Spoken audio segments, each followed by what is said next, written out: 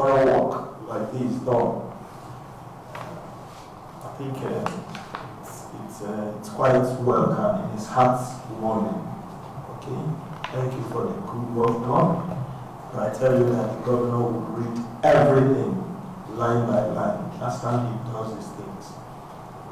Disclosing that the current annual basic salary of all categories of political, public, and judicial office holders in Nigeria is adjusted upward by 114% after considerations that the consumer price index of some selected baskets of commodities have collectively grown by an average of 361% from 2018 to 2022. The chairman, Revenue Mobilization Allocation and Fiscal Commission, Muhammadu Bello Shehu, represented by the Federal Commissioner in charge of Anambra State in the commission, Barrister Chema Okafo, explained that the provision of paragraph 32D of Part 1 of the Third Schedule to the 1999 Constitution of the Federal Republic of Nigeria as amended empowers the Commission to determine the remuneration appropriate for political office holders including the President, Vice President, Governors, Deputy Governors, Ministers, Commissioners, Special Advisers, Legislators and the holders of the offices mentioned in sections 84 and 124 of the Constitution, saying that the Commission was guided by equity and fairness, risk and responsibilities, national order of precedence, motivation, tenure of office, reasonableness, and ability to pay. Mr. Bello Shehu noted that the Commission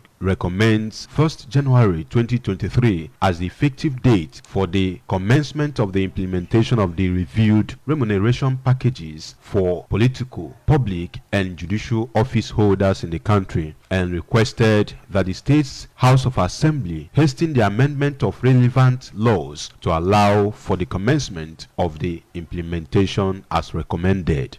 There's need to revisit um, the remuneration and then um, after a series of exercises involving stakeholders and their opinions, we were able to have um, a weighted average.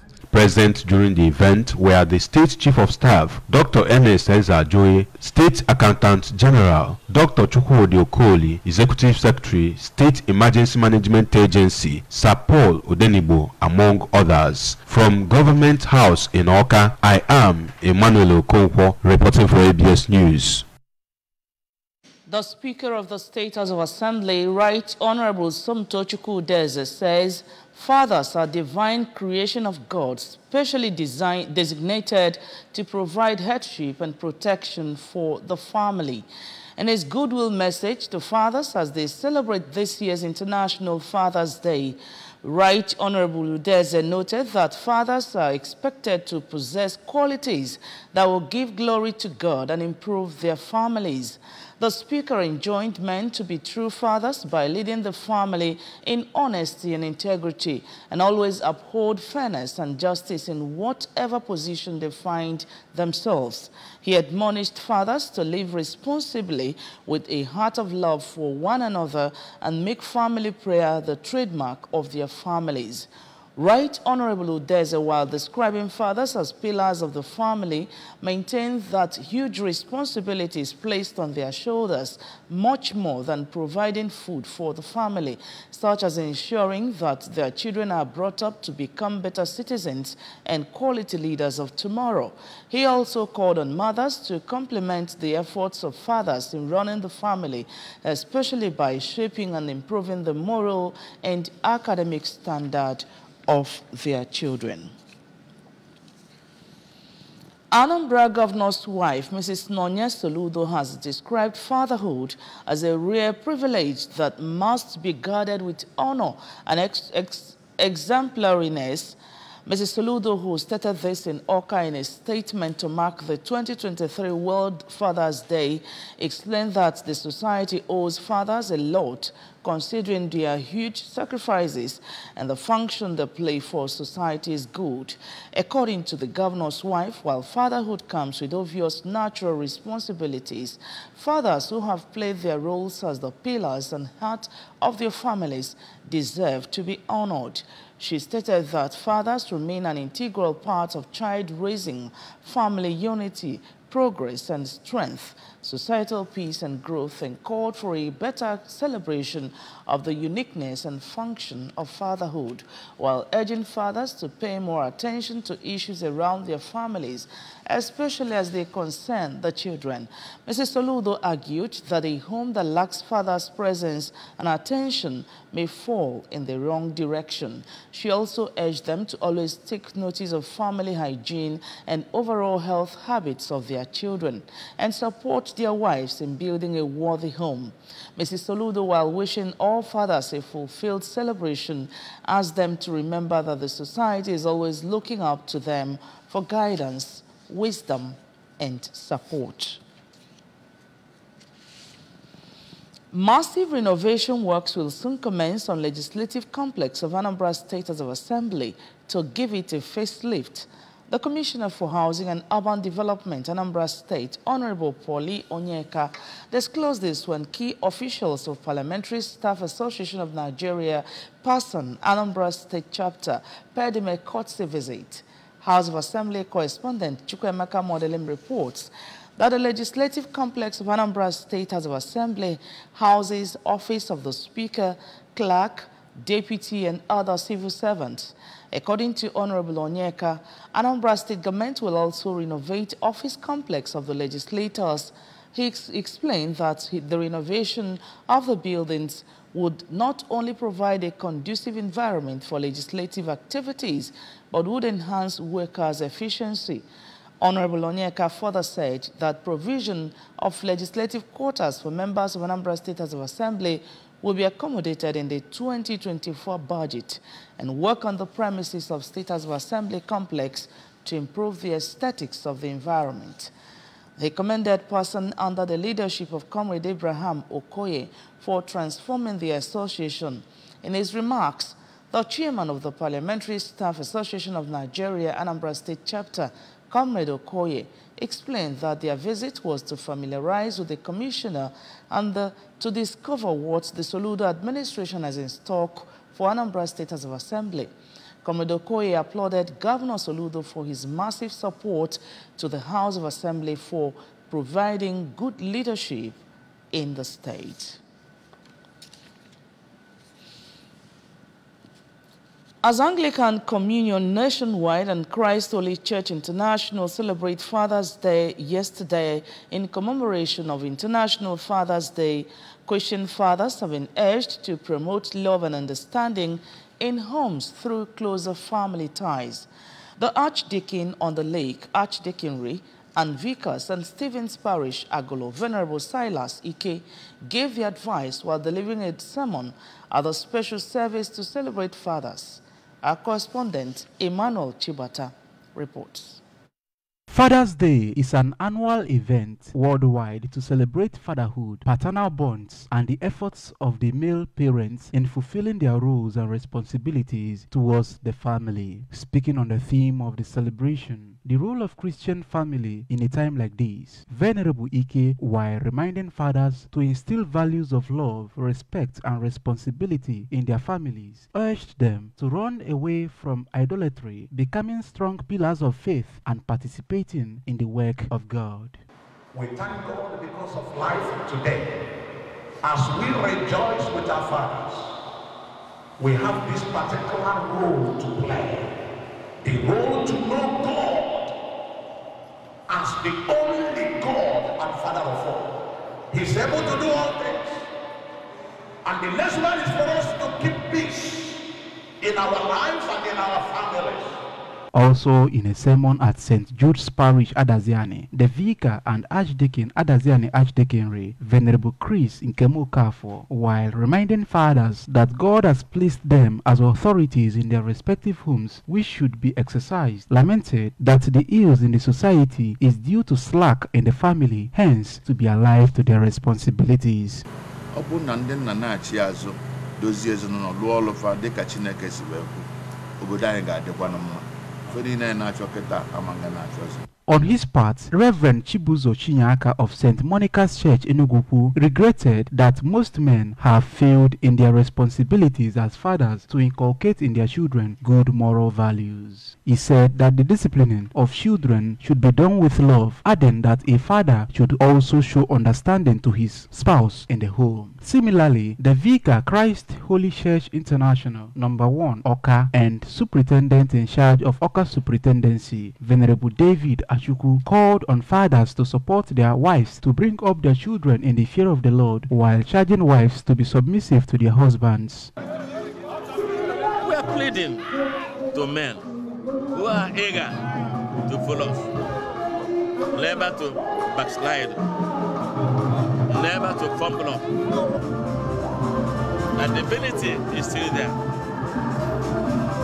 The covenant is still there. Some men who spoke to ABS, Elder Ima Nzomiwu of Christ Holy Church International and President Men's Fellowship, St. Monica's Church Enugu, Mr. Lawrence Okonkwo, said the occasion is an opportunity for men to rekindle their responsibilities. Drama, praises, and thanksgiving climaxed the event.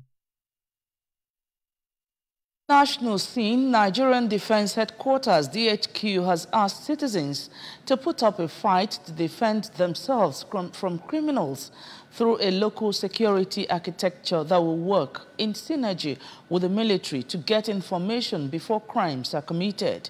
Princess Ekui Ajide tells us more.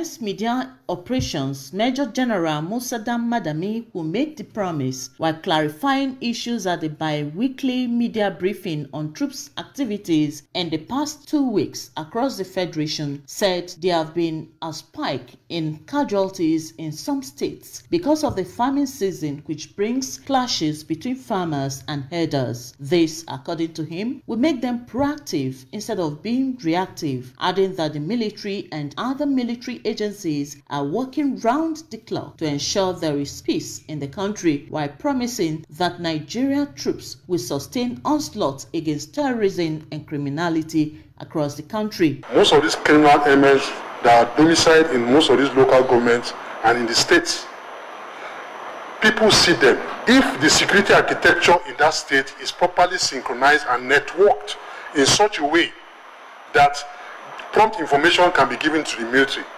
then we'll be proactive in addressing this issue. On his part, the Director of Public Relations and Information, Nigeria Air Force, Air Commodore Ayodele Famuyiwa, cautioned the media against blowing up reports without adequate investigation or making an effort to get two sides of the story. The briefing showcased success stories of the military in different theaters of operation within the period under review. In Abuja, Princess Ekui Ajide reporting.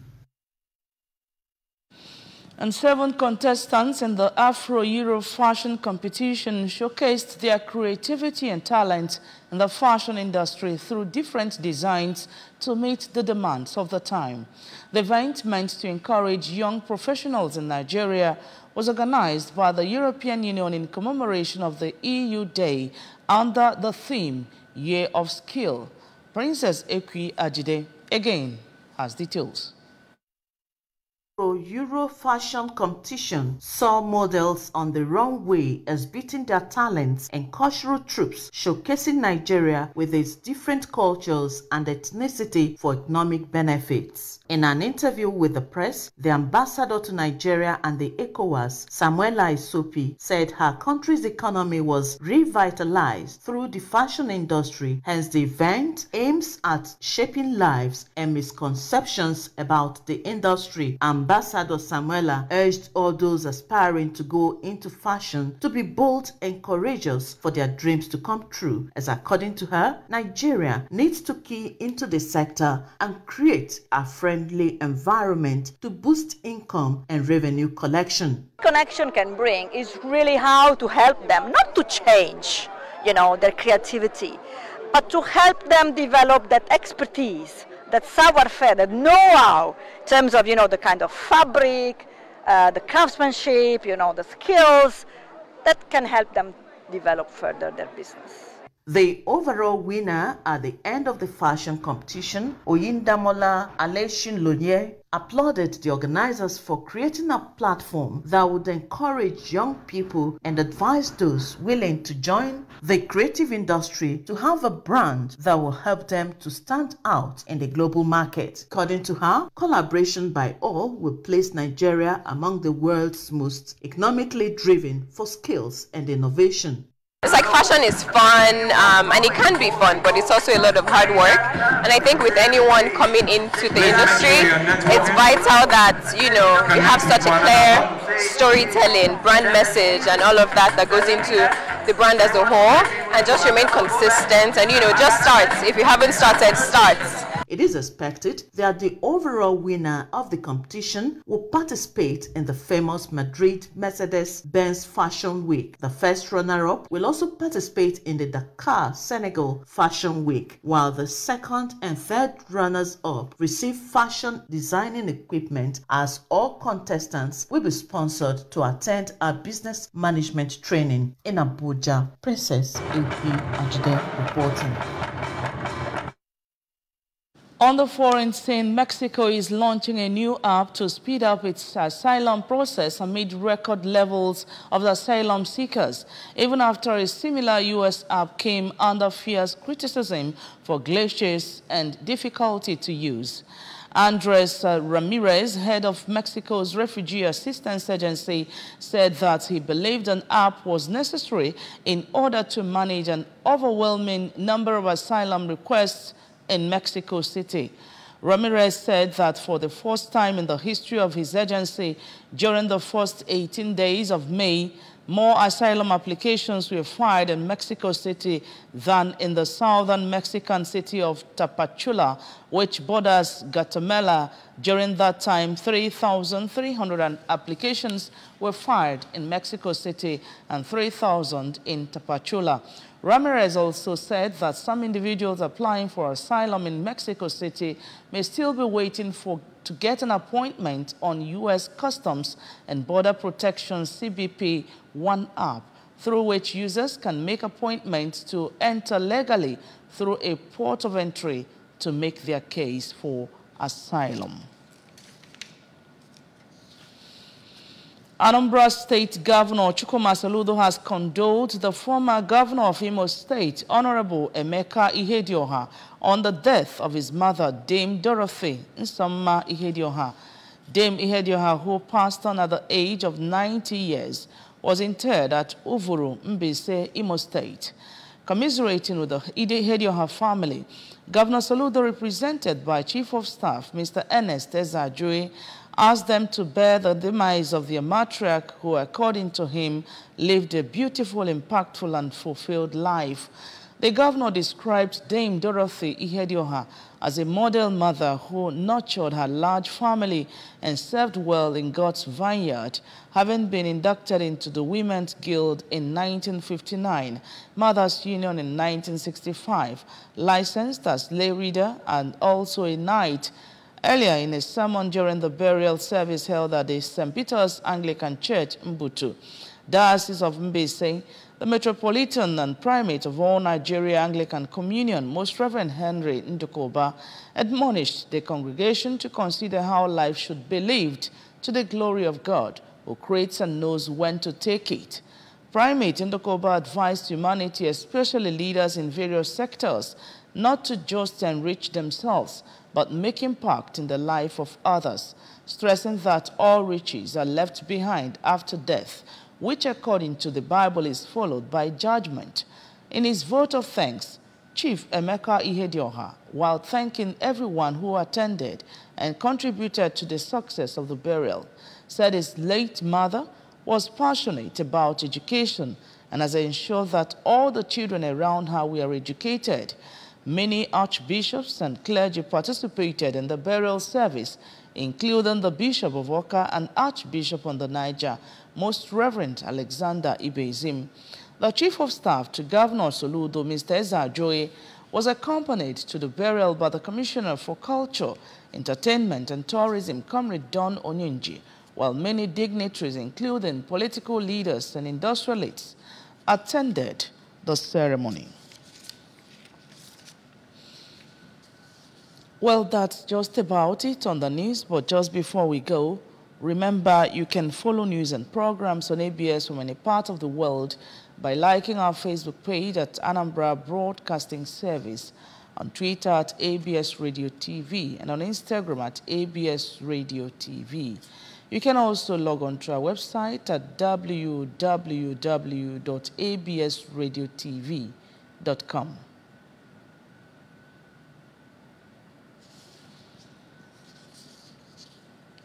And the main news again. Anambra,